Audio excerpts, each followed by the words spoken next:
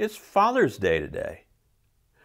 As difficult as it may be to envision, fathers were once young boys themselves. And if they grew up in the mid 1950s, there's a good chance that at one time or another they wore a genuine Davy Crockett coonskin cap. The furry hat with a striped raccoon tail in the back was all the rage back then, thanks to Walt Disney, who produced television shows lionizing the early 19th century frontiersman and legend. The theme song was highly memorable, even if filled with lots of inaccuracies. He wasn't really born on a mountaintop but in a valley. And it's doubtful he killed a bear when he was only three years old. But the show spurred the imagination of countless youngsters and created a demand for Davy's signature coonskin cap. In real life, Crockett claimed he could get a raccoon to fall out of a tree just by grinning at it in the TV series, one memorable episode included Davy ruminating on the possibility of doing the same thing to a black bear. Crockett was a renowned bear hunter, but there's no record of the man actually grinning a bear to death. That's just a bit of Disney storytelling magic a well known figure from the Bible, also had a history of battling with bears and lions. The job of a shepherd was not an easy one when young David was tasked with protecting his father's flocks.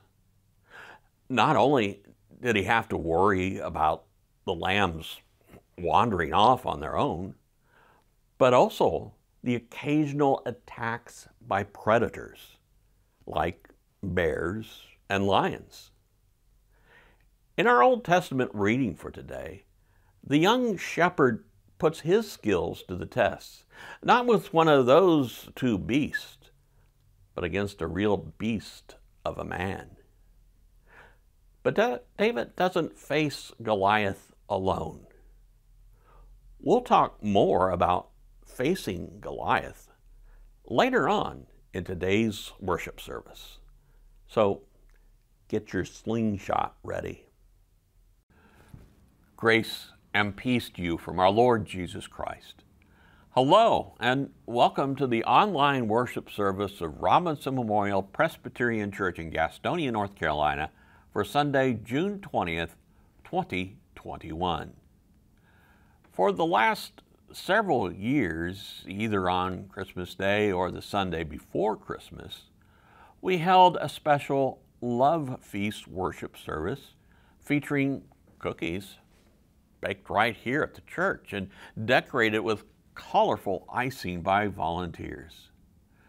Well, with COVID 19, we didn't get to do that in 2020. Last Sunday, during the announcements part of our live worship service, our cookie master, Silva, announced that we are going to make up for the lack of Christmas cookies by baking and decorating the treats for the 4th of July, which happens to fall on a Sunday this year. So, on the 2nd of July, she'll be baking and invites everyone to help decorate that Friday. At its meeting last week, the session decided, well, we'd make lemonade to serve with the cookies, invite everyone to dress casually that day, even in shorts and flip flops if you want, and conduct our worship service here in Fellowship Hall instead of upstairs in the sanctuary. Now, I want to clarify this is not a love feast like we've done at Christmas, but I'm betting the cookies are going to taste just as good.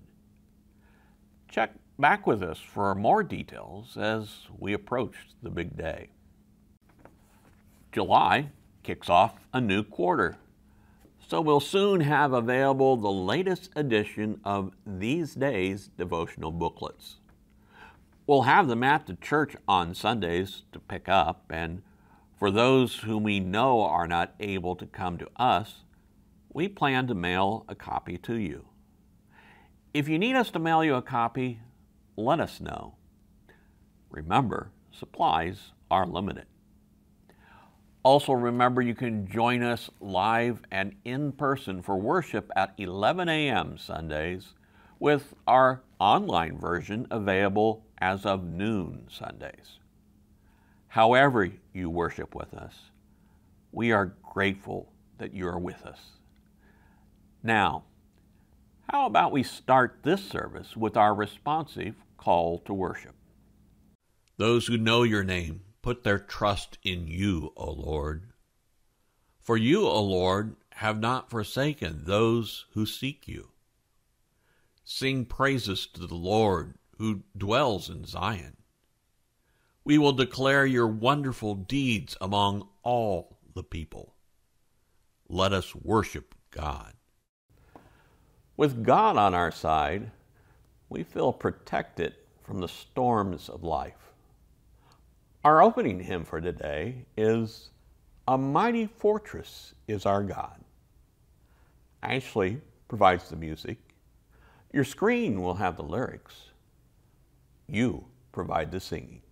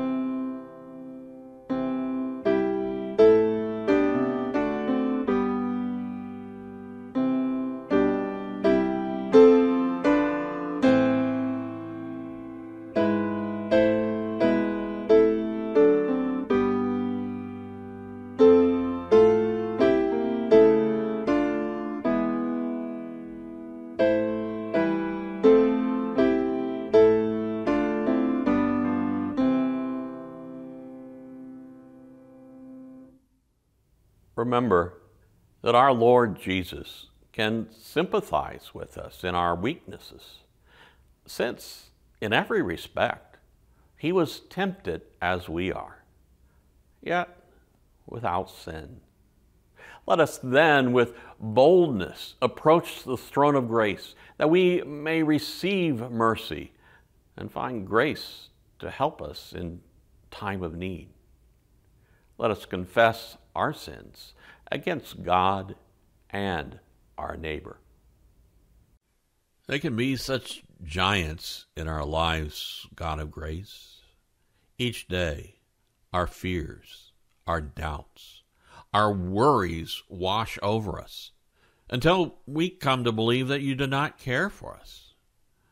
There seems to be so much wrong in the world. We are convinced that there is nothing good we can do. The storms of sin and temptation batter at us, and we cower, unable to find the faith to withstand them. Forgive us, God of hope. Remind us that if we but open our hearts, you will heal us. If we but listen to your words, we will hear peace and joy. If we but open our lives to you, we can go forth to serve our sisters and brothers, even as we have been served by our Lord and Savior, Jesus Christ.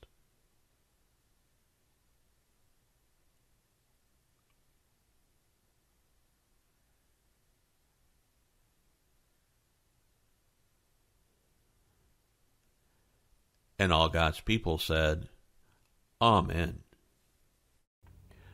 With calming words, with a peaceful spirit, with overflowing love and hope, our God forgives us and fills us with faith.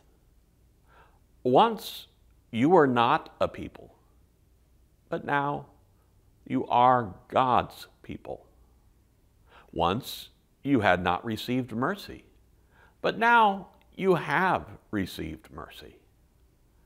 Friends, believe the good news of the gospel.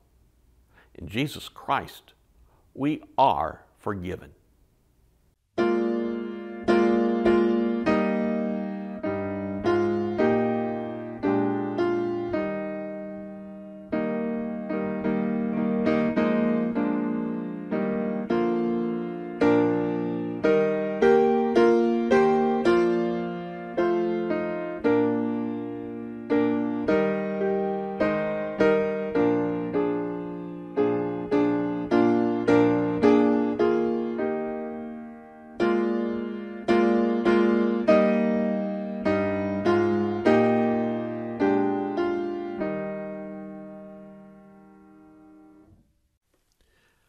Gospel reading for today comes to us from Mark chapter 4, verses 35 through 41.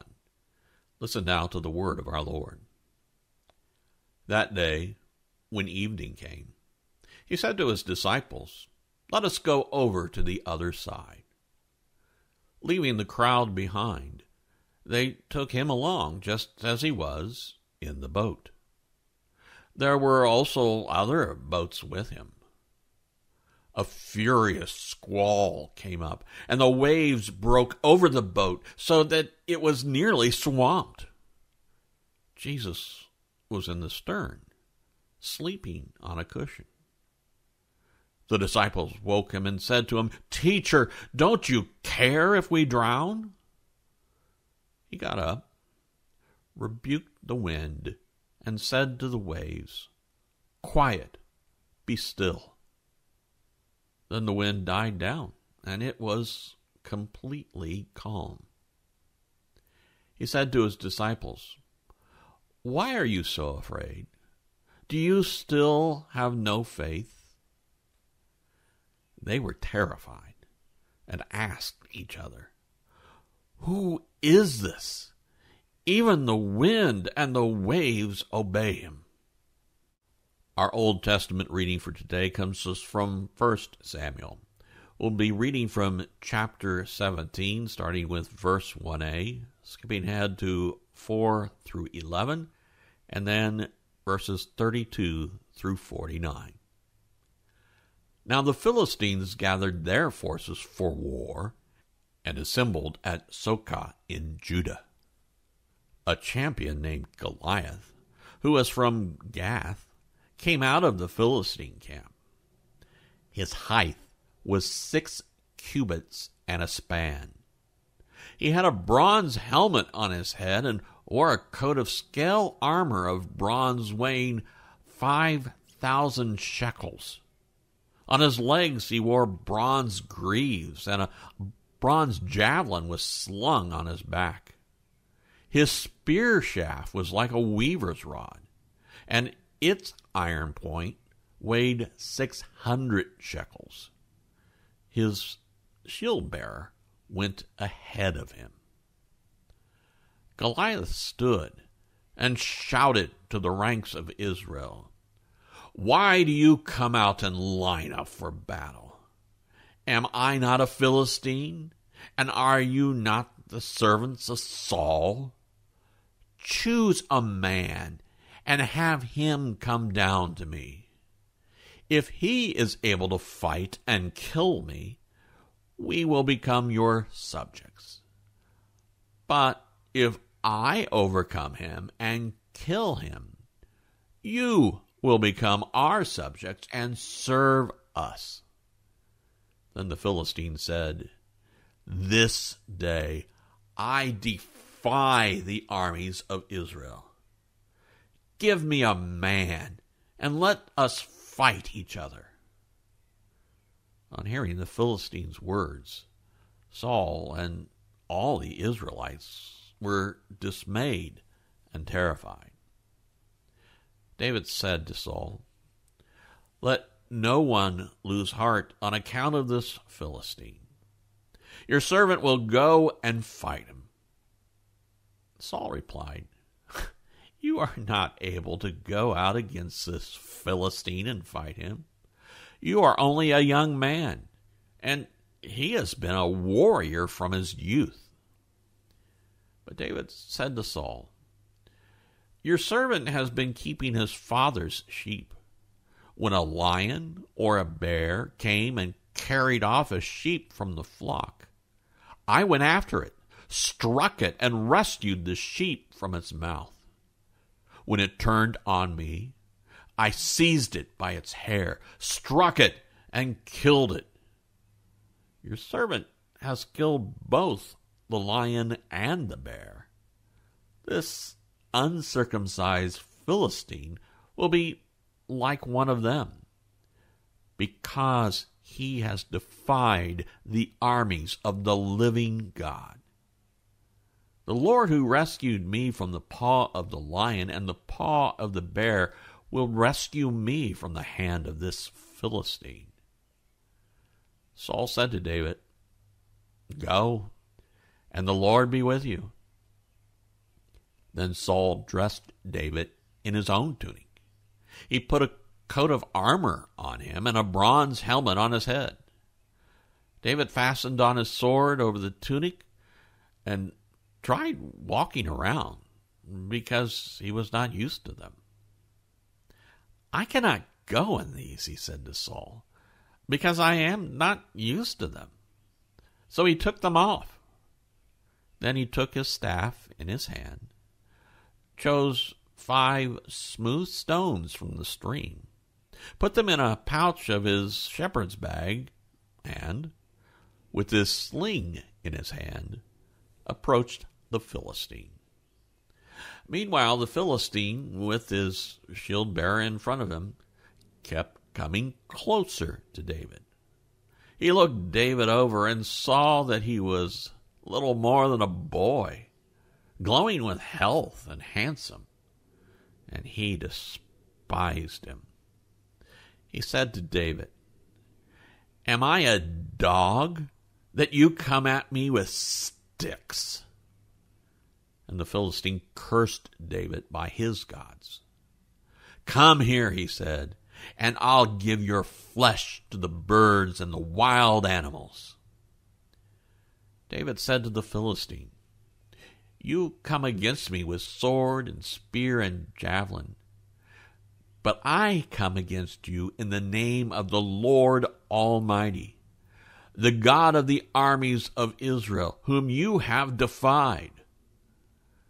This day the Lord will deliver you into my hands, and I'll strike you down and cut off your head.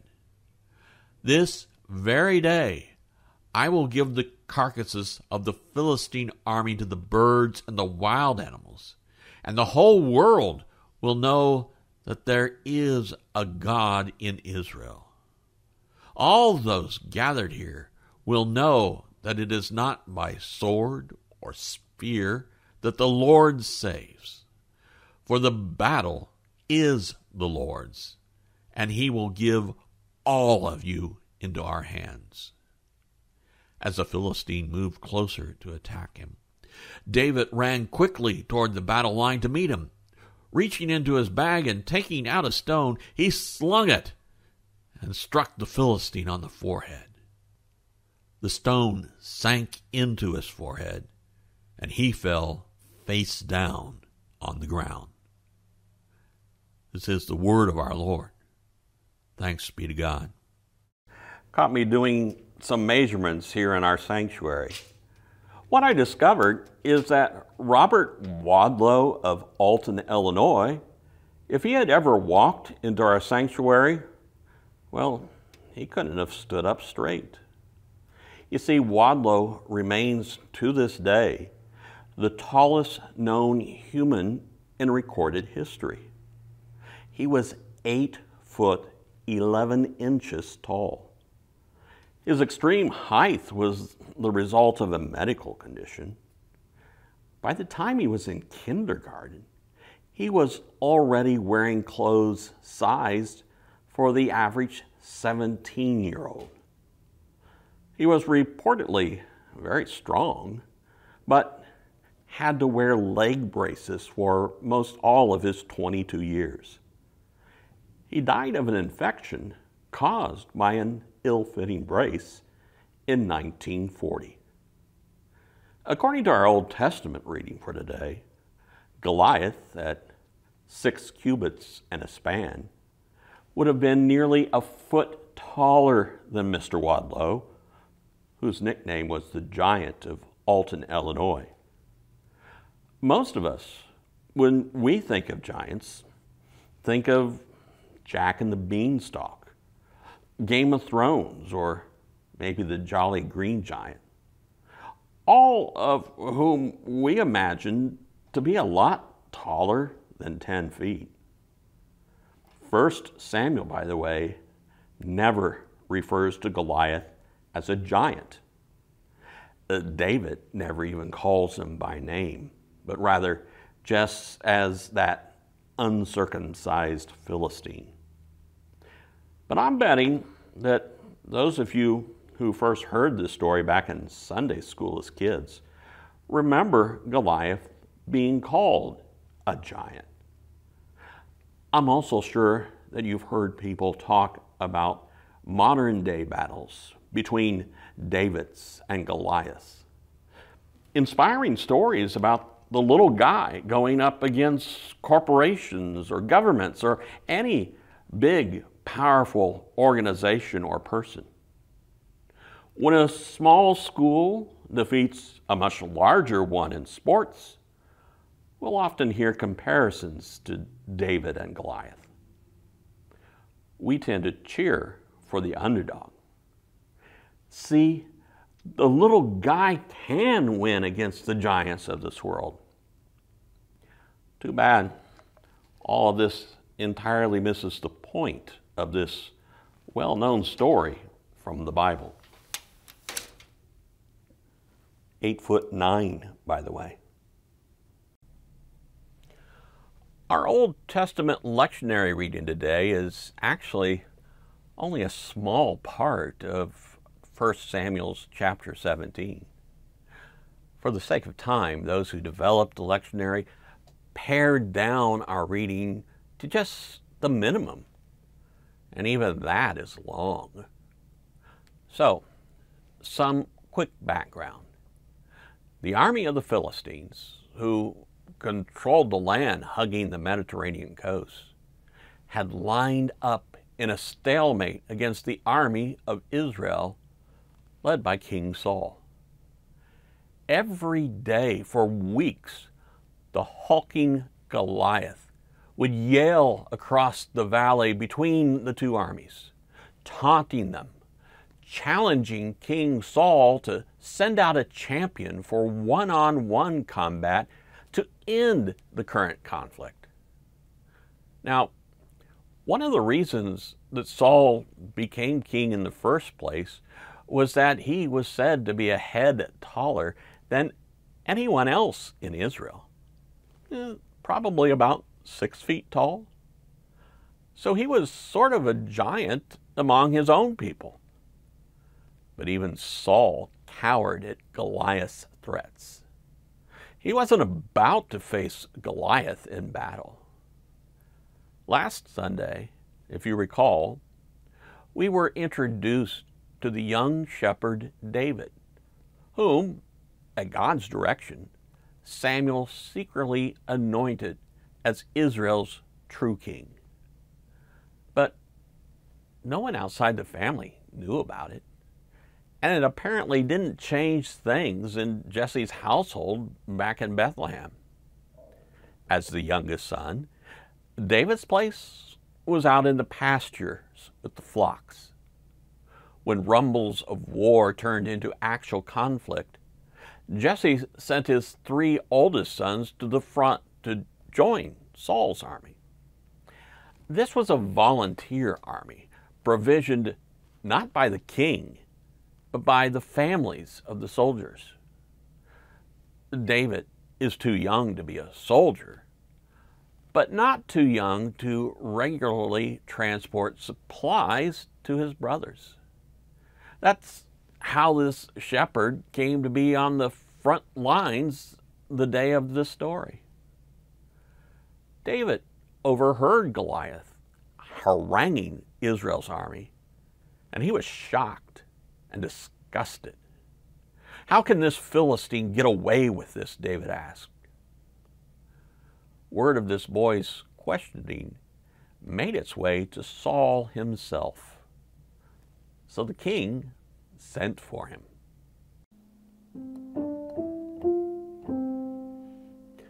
Now, in the previous chapter of 1 Samuel, David is actually introduced to Saul and plays music to soothe the king, later becoming one of his armor bearers.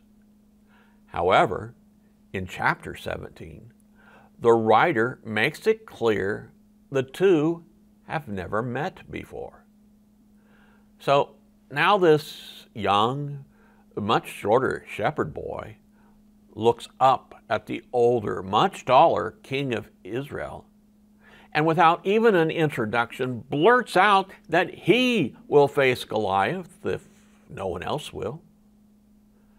It would have been interesting to be a fly on the tent wall watching Saul's reaction to David. The words recorded here, I don't think does it justice.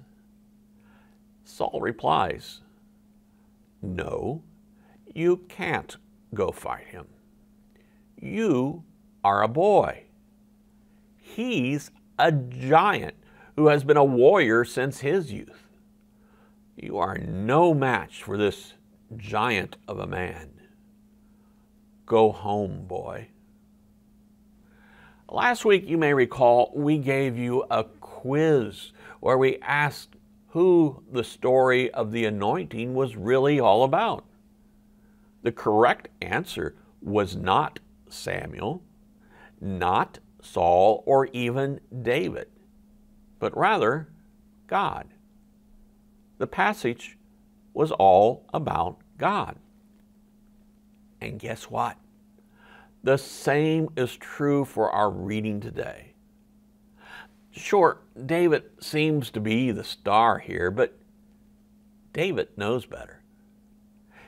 You see, David was not offended by Goliath taunting the army of Saul or even the army of the Israelite people, but rather the army of the living God, he said.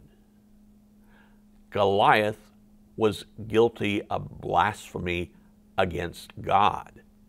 Not Saul, not David, but God.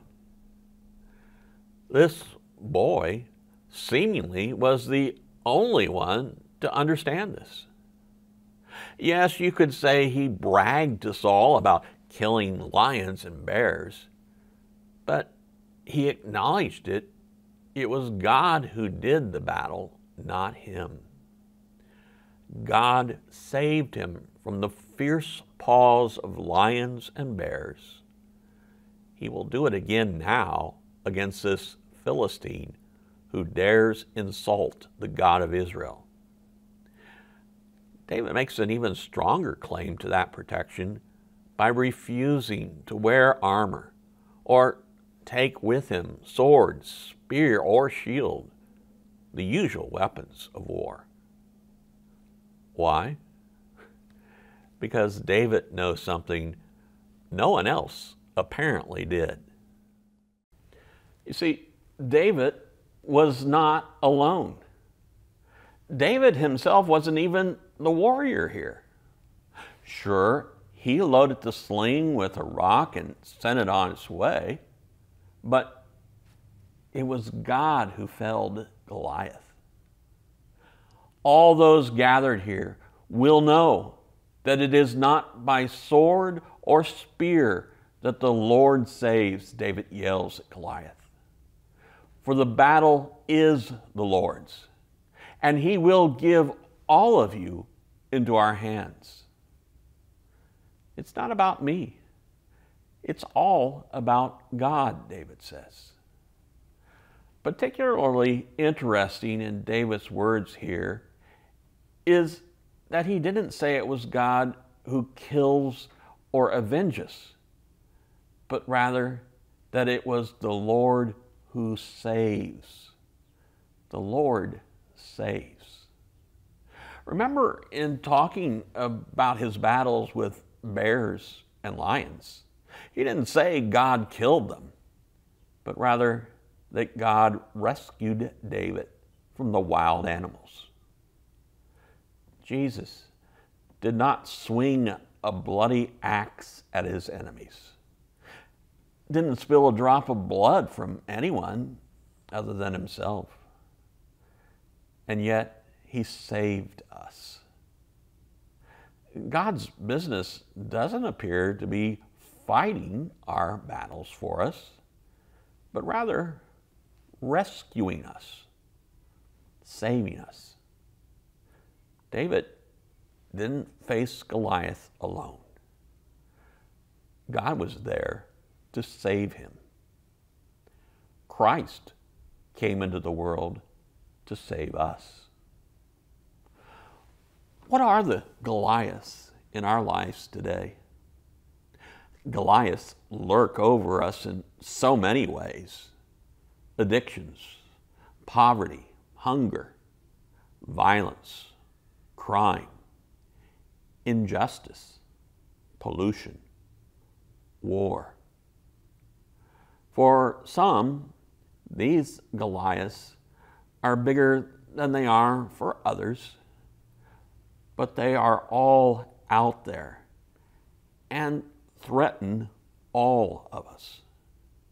And even worse, they are attempts at challenging God, challenging His reign. An attack on God's creation is an attack on God Himself. Saul's army sat still and avoided conflict with Goliath. I wonder, were they any less guilty of blasphemy against God than Goliath? Maybe even more so, because they were the people of the covenant. They should have known better. What about us? will we show the courage to tackle the evil giants of today knowing that in the end God will rescue us. Actually, He already has through Christ. And that is true peace as we go out facing Goliath. In the name of the Father, and of the Son, and of the Holy Spirit. Amen. Let us now turn our hearts and minds to the Lord in prayer. O God, if you build the house, who can destroy it? If you establish a covenant, who can defeat your purpose? If you turn against your people in righteous judgment, who can withstand your anger? Yet you have assembled a people and called them your own. You have set your sign in the heavens that you will never withdraw your blessing.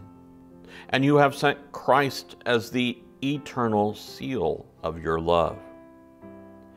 Nothing can separate us from your redeeming graciousness.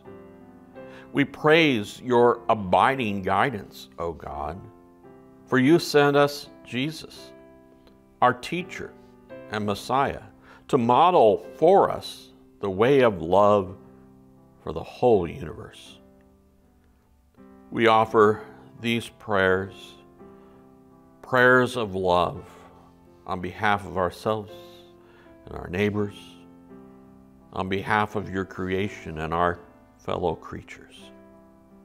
Today, dear Lord, we are particularly mindful of those who are in the way of tropical storms, or those who suffer from excessive heat. We pray today our continued prayers for Alan, for his comfort, for his children, Victoria, Victor, and Patrick. We also pray for Dallas Harbin. Our prayers continue for Joe, for Barbara Plyler, for Jean, and for Claudette, for Ben, for Buster and Terry, for Nancy and Ashley. Our prayers for Mary and Glenda, for Jerry, for Johnny and Sandy, for Larry, for Stephen, for David and Beverly. Our prayers for Adrian and Emma, for Leanne and Rick. Prayers for Barbara, for Kennedy, Michaela, and Benny. Our prayers as well for Pat Bunton, for Joyce and for Chris, for Gary, for Ellen, for Lee, and for Mitchell. We thank you that you call and name us Christ's church. Make us worthy servants in his name. Set us apart so that we can witness to your commandment, your reconciliation, your righteousness, and your peace. Help us to build a society where justice reigns, where the weak are empowered, not exploited. Give us a sense of what is right so that we may face the Goliaths in our lives and do what is in accord with Christ's will. Pour out upon us, O God, the power and wisdom of your Spirit, that we may walk with Christ the way of the cross, ready to offer even the gift of our lives to show forth to the world our hope in your kingdom. We ask this through our Lord Jesus Christ, who lives and reigns with you in the unity of the Holy Spirit one God, forever and ever, and who taught us to pray, Our Father, who art in heaven, hallowed be thy name. Thy kingdom come, thy will be done on earth as it is in heaven. Give us this day our daily bread, and forgive us our debts as we forgive our debtors. And lead us not into temptation, but deliver us from evil. For thine is the kingdom, and the power, and the glory forever. Amen. And now, Christians, let us tell the world what we believe using the words of the Apostles' Creed, which will appear on your screen. Christians, what do we believe? I believe in God the Father Almighty, maker of heaven and earth, and in Jesus Christ, his only Son, our Lord, who was conceived by the Holy Ghost, born of the Virgin Mary, suffered under Pontius Pilate, was crucified, dead, and buried. He descended into hell. The third day he rose again from the dead. He ascended into heaven and sitteth on the right hand of God the Father Almighty. From thence he shall come to judge the quick and the dead. I believe in the Holy Ghost, the Holy Catholic Church, the communion of saints, the forgiveness of sins, the resurrection of the body, and the life everlasting. Amen. We close out this service with the hymn, Love Lifted Me. Please join in singing with us.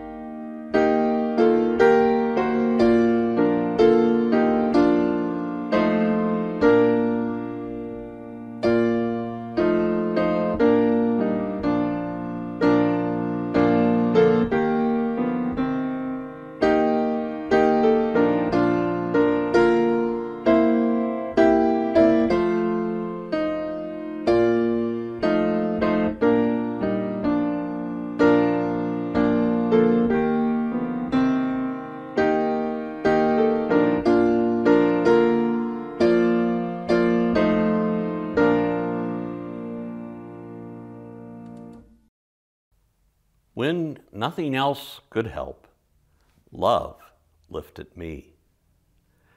God's love takes many forms and shines best when we follow Christ's commands to love one another.